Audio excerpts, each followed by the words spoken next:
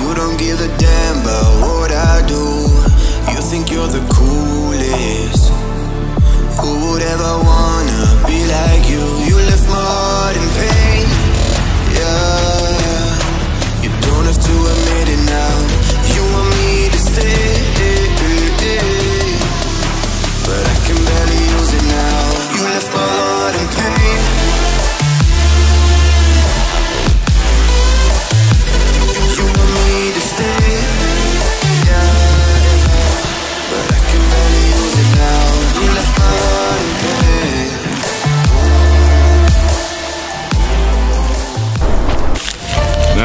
was the law in that forsaken outpost, I could see I was gonna have to do a bit of pest control.